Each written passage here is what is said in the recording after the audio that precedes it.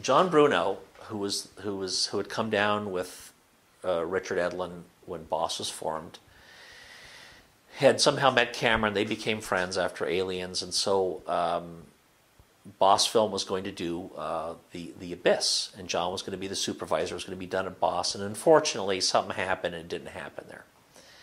And um, talked to Jim, and he said, unfortunately, there was a meltdown with Boss. Whatever, it's a long story. We'll go into it. But they were going to sort of do a lot of the photog- underwater miniature photography themselves as a, as a unit under the production in South Carolina at this this site that they had found, and DreamQuest had gotten the um, another uh, piece of it, you know, all the motion control sort of miniature shots and what have you. And so it was going to be sort of farmed out. That was the first time they sort of pieced out um, work on a film, I believe. I don't think they had done that much. Usually it would go to one company. And so the, the miniatures had been uh, awarded to um, Brick Price, Wonderworks, and um, and they had to do it. They had to do a very tight budget. So I think that Brick had come in lower than everyone else, so he got the job. Anyway, my job was going to be to go to to South Carolina and and really maintain the models. I didn't have to build anything, so I thought, oh, this is going to be a great job. We're going to shoot in the water. I was a diver, so I was sort of overseeing the, the models as they as they were um, coming out there. And, and WonderWorks, I think, because they'd sort of bid low to get the job, it was getting difficult for them to finish everything. So, um, and it was, I think, just to get the show going, they just sort of had to do it. And so I ended up building more stuff there than I had anticipated. And I called my was having trouble getting people to go out there because word was it was a really hard show and we weren't paying a lot and I needed somebody to weld up frameworks to make an underwater terrain for the deep core to slide on, you know, when it slides to a halt. And I called my brother, who was a welder, and I said, "Hey, do you want to come work on a movie?" So he came out, you know, so we could I could abuse him because he didn't know how, he didn't know the thing yet, but he had a good time on it, and uh, and I needed uh, someone to sit with the models because I was running the shop. It was a small shop, but I was I couldn't be with them all the time. So Adam Gelbart and I had gone diving, and I called Adam and said, "Hey, you know, come out. It's going to be great. you could dive and you know have a lot of fun." And uh, and and so he came out and he they shot the miniatures at at night because of uh, just the light filtering through the water it was easier to shoot. So Adam had a great time. So whatever would break the next day, I get a list from Adam, and we would fix it because they they'd pull the deep core. It was an, it was actually a nice model. It was it, it would it was probably 12 by 12 feet. It was huge, and they would pull it out on, on a crane and put it on these these big sort of steel sawhorses. So let the water drain out of it, and, and I, get some of the guys. We go fix whatever got broken the the night before because uh, you know water is really hard on things, you, you know, and it's not it's and when you're picking a big model like this up and swinging it around, stuff gets broken. So it was a it was a very demanding show. The Abyss, which is James Cameron's underwater sort of epic, and I got to build a couple of models for that. And what was really interesting was here I am a junior model maker. I've never really had the experience building models, but they handed me a, a set of specifications, and me and one other model maker, uh, Jim McGeechee, who uh, was sort of a veteran at this, uh, were given the task to build this model. No drawings, um, just dimensions and what it was, which was the inside of a, uh, a submarine's uh, engine room. And based on that, I did some sketches. Uh, Jim and I sort of parted the uh, model into who was going to do what. He was going to do half, I was going to do the other half. He'd do the floor, I'd do the ceiling, et cetera, et cetera. And um, we built this model from the ground up. I think the one that I ended up working the most on, and, and I actually can point out parts of things I did very specifically in the film, was The Abyss. Um, and The Abyss was fun. I ended up becoming one of uh, two or three people on that film who made all of the scale model puppets of the actors, which was really fun, actually. Um, we made them out of, you know, latex, foam latex. They were cast, the little bodies, and then we detailed them with lots of different things. And we made a number of different scales we ended up doing a third scale of Ed Harris for the scene when he's dropped over the edge of the abyss. And of course, that was sort of heartbreaking because we spent weeks building this magnificent model of him, and then they just threw it off the edge of the three story building and filmed it which was fine. That was what it was intended for, and it worked out great. But it was still kind of heartbreaking to watch it hit the asphalt and shatter into a million pieces. So. We did quite a bit of work, you know, all the underwater stuff, the crane crash, the, the large sub that Wonderworks had built. I think it was like 30 feet long when it crashes. And we, we shot that in the big tank, in the, in the crane, the crane uh, falling through the water was shot in the big tank because we needed to get a long run of water. And this was 60 feet deep at its deepest. We built a Benthic Explorer. We built the Montana submarine. Uh, Dave Beasley souped the Montana sub, and and we built. It was basically you know an aluminum tube with a bunch of bulkheads that would get larger. That we then stuffed with, um, wrapped actually with Clark foam. Uh, Clark foam's like surfboard foam, but it was I had never done anything like that before. It was amazing, and Dave Beasley engineered all that. Um, kind of planned that out. The the Montana was like 40 feet long. We actually had an aircraft company spin these thin aluminum nose cones for it. So when it got down to Gaffney, they could crash it into the the um, miniature rocks that they had set up there. I, I think the biggest problem with it was because they were doing this stuff in real water. You know, you things had a tendency to float if there were air pockets in them. Um, there was a the deep core oil rig. At Wonderworks, we built the 14th scale version of that, and uh, Eric Carolstead was the lead on that model. Alpha Shea was kind of like a co-lead with him on that. Ken Swenson was the overall miniature soup, and then you know Brick would kind of ride in on his Harley and walk over. Hey guys, what are you guys working on? You know, kind of thing. He's a he was quite a character. So there was a smaller version that was used for all the stunt work, and they'd shoot that high speed in Gaffney. Um, I think Al and a couple of other guys went down to South Carolina with it to kind of man things. Um, and, uh, you know, we just detailed the daylights out of it. That was that was the first thing I'd ever worked on that was just that big and and you know we're it was going to have to be used for multiple takes um, and have to just survive getting the the daylights just knocked out of it and dragged around on the you know for the ocean floor sequences. And we did um, the crane crash sequence. The Skotak brothers did that, and, and because I I just did the model stuff for them because it was we all knew each other. And uh, the Skos did a number of shots for Jim on that. That crane crash sequence, um, we were was originally approached to supervise the film, but uh, what had happened after al- Aliens, I had uh, gotten ill for a period of time, and um, I was just kind of recovering, and um, didn't think it was wise to get into something like The Abyss at the time. We had, you know, worked on Aliens and worked with Jim before, so I turned it down. Now, maybe a year later, uh, get approached by Jim and I think Julia Gibson, who was also on that film, uh, about uh, coming in and doing some shots that sort of had the feeling that nobody else wanted to do. They they were involved heavily involved with miniatures and were involved with water, and um, you know pretty tricky, involving perspective angles. And um, so we were hired directly by Fox. This was pre uh, 4-Ward Productions, uh, and we went to a facility called Harbor Star, which was a very large hangar uh, structure. The NTIs were being photographed through a big uh, plex uh, sheet on the side that was um, a view, viewing window on the side of the tank. Uh, so the Benthic Explorer, um, what we what we wound up doing is constructing part of the Benthic Explorer on the on the top of this tank. Um, the miniatures had already been built. The Benthic had already been built uh, by Brick Price, I, I, I believe. Uh, so what we had to do was strip all those pieces off and make our own deck, separate deck, but take all the detail pieces and reconstruct that whole uh, area of the Benthic Explorer, or sort of remake it uh, again on top of this big tank. Uh, the and then the uh, crane itself was partially you know plastic and steel structure with a lot of lead pieces for the girder work to crumple that sort of thing. So we uh, assembled our a crew of a lot of our, our guys who worked later worked with us at 4-Ward, but guys who had worked with us at uh, New World, as well as some people who were involved with the Abyss, and uh, worked in Harbor Star and built the miniatures there and shot them right there. Uh, the the really torturous aspect of the Abyss is that crane crash. Uh, we had figured on doing three takes of it.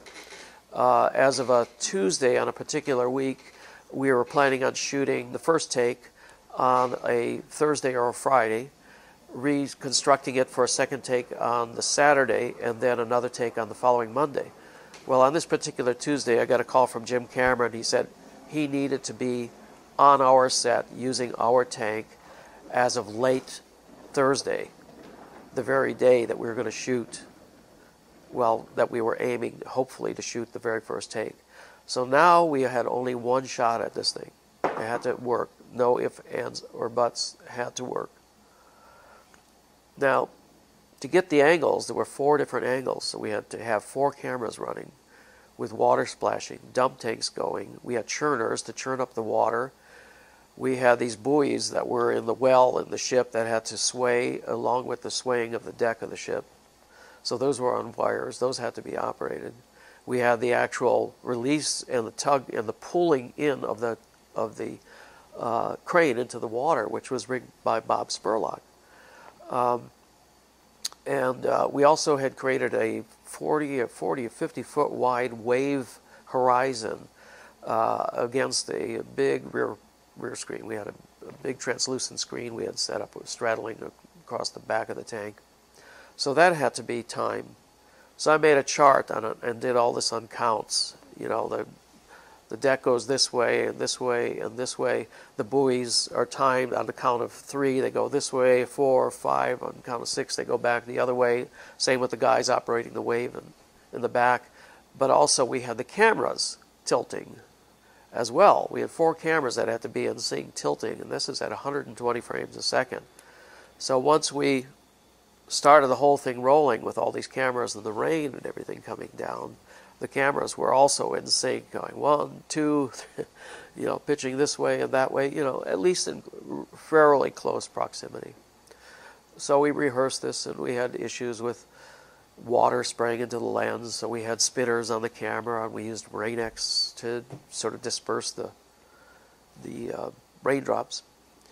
But also, one of the things that was a concern of ours, and it was nothing we could do anything about really, because the, the, scale was predetermined. We were given tenth scale. I would have preferred to have done it more in, say, 6th scale, at uh, sort of at a minimum. A quarter scale would have been great, but it just wasn't there. But when the water hit, uh, the deck from the dump tanks, it would tend to, the surface tension would create a roundness on the edges, a puddling effect, which we didn't like. So uh, came up with the idea of uh, using Photo-Flo, mixture of Photo-Flo and rubbing alcohol to coat the deck, which has a way of breaking the water tension and flattening it.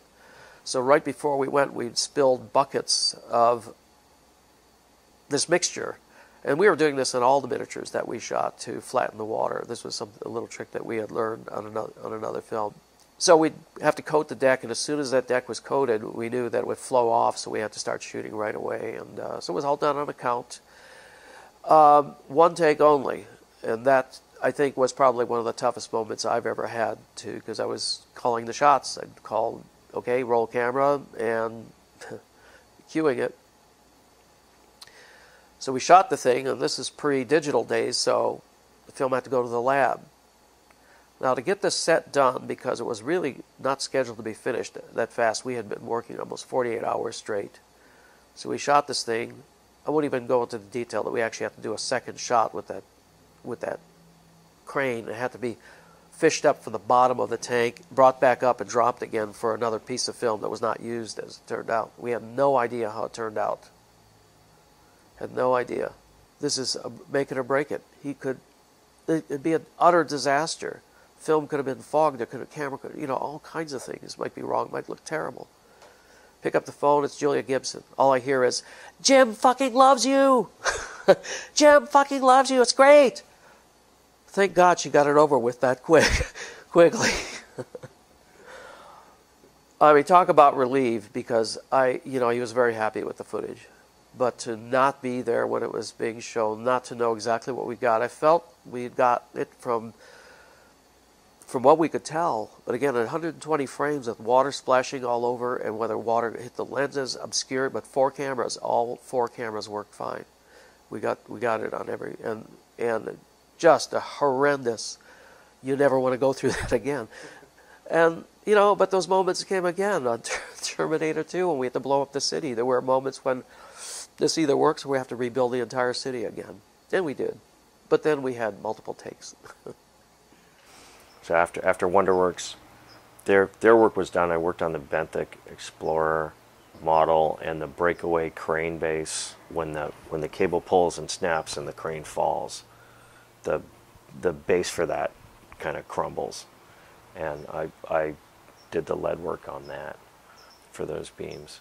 Basically, wrapped lead, you know, thin sheet lead around uh, a plexiglass shape, and then pulled the plex pieces out. I worked with Niels Nielsen on some of that stuff. That was over at WonderWorks too. But when the WonderWorks job ended, Design Setters was doing the miniature work for DreamQuest. DreamQuest was shooting all of the dry for wet stuff, Hoyt Yeatman's place. And so I went to Design Setters and worked with Dave Goldberg and Mike Stewart and Henry Darnell. That's where I met Mike Possert, who I worked with a bunch of times after that. Mike Stewart and Mike Possert were, and Henry were working on the, the motion control versions of the uh, little underwater one man vehicle the Benthic Explorer, which was an amazing model, which was 45 feet long and I think 15 feet wide, was shot at a place called Westport, Washington.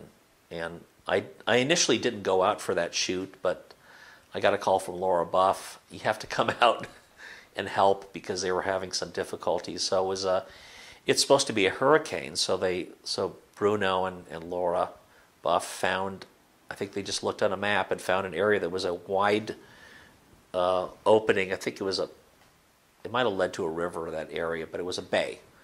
And so you could sort of get back in the bay and then look out, look west, and see just the ocean. But you were close to land, and, and they, they wanted a place so they could stage, you know, this big shoot. So it was shot in November. Uh, they needed bad weather because again, it's a hurricane, and so it's um, not not many people had shot on the water. I hadn't, and it was extremely difficult towing this thing and it would break its tow lines. And my brother, having been in the Navy, said that happens all the time with ships. They always, there's a little surge and then the tow line snaps. And one day I wasn't there, but this the Benthic Explorer, uh, it was bad weather. The tow line snapped and it started heading out to sea. And they somehow captured it. Even the Coast Guard guys turned away. They couldn't sort of, the, the weather was so bad they couldn't sort of get it. And somehow one of the WonderWorks guys jumped in the water and climbed aboard and tied this thing up and they brought it back. And and when we used the, the, one of the destroyers I eventually rented from Paramount that I had seen at, at Pinewood, we sort of refitted it to make it look like more of a modern destroyer. It was actually a World War II destroyer, but we sort of raked the, the stacks over and, and reworked it. And it was a 30 foot long model, and I had put in um, a bilge pump, just a pump system in case it started taking on water with it. These big, they're called deep cycle marine batteries to power this thing. We sprayed it with foam was afraid if the thing sunk out there, we'd be sort of would be sunk. So I took that out and got some great footage because it was actually taking on water. I found out later. The um, the stern had gone underwater, and because it was now heavy, the waves were crashing over the bow. It looked great. It was it was for a big rear projection shot that ultimately was shot but not used in the movie. And uh, I don't think you see that. You see it at the very end when the when the uh, NTI ship comes up and you see the destroyer sort of repositioning itself. And um, uh, all that end stuff was done by uh, Fantasy II. Gene Warren did all that stuff, and uh, and I thought it looked pretty good. You know, the, the the big pieces coming out of water that was built sort of through DreamQuest um, at a place called I think it was called Design Setters. There were so many different model, you know, uh, model companies doing stuff for DreamQuest and and it just got sort of spread all over the place. The ocean, where you can find places to shoot with the, that no horizon, where you're trying to be way out somewhere, but you have tides. You got you can't you can't put anything in the water. When what height this is? It's constantly changing on you. Plus the surf's up, it's down, it's sideways, it's this.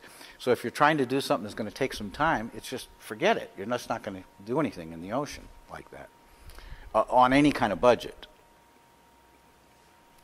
Salton Sea has a tide of about you know half an inch because it's only 40 miles long, and so it, it, so you can go out in the water, pick a depth, put all kinds of stuff there. So in the in the abyss, where all those things come up out of the water and all that, that's all rigged from underwater. I went out about 300 feet, and since it's so gradual, it means it's almost level any spot you pick. It was only 11 feet deep, 300 feet out, and that's where we, we shot. And then towards Mexico, it always looked like you were out in the middle of the ocean. Now, it's true, the pollution there has gotten worse and worse and worse, so the water gets kind of brownish. Uh, and then it was better during the French Atlantic in the late 70s. The um, abyss was late 80s, and it had gotten worse. So I had to get cases of Mrs. Stewart's bluing, and whenever we would shoot with the spires coming out from get those shots going, all the foreground water was we had all we filled up all these thing, containers and then squirted the hell out of this Mrs. Stewart's bluing, and it made the water go um, Caribbean blue. Uh, and then DreamQuest did some beautiful stuff as well. You know, they they uh, Hoyt had come up with a an overhead um, motion control system that was steel I beams above them, and a big traveler that that would uh, when when they're actually um, exploring the wreck in their little mini subs, what they they built the the wreck of the of the model, and it was shot dry, dry for wet, where they pump smoke into the stage to make it look like water. And what they did is overhead they had a uh, a traveler to move the mini mini sub that that was powered and actually had a rear projection thing in it. So when you'd see Mary Elizabeth Mastrantonio going like this, she was being rear projected into the glass. It was a double layered glass sphere filled with with um, oil to to give you that that lensing effect that happens on the real one. And you couldn't see the wires. So that was all done in, in multiple passes. You know, they do they do the good lighting pass with the smoke, and then they turn the smoke off, and they do the rear screen pass, and then do a little light pass. Painstaking way to do it, but it still it looks really good. And so that's that was, you know, DreamQuest did a lot of shots on that, and it was an incredibly complicated um, movie to put together.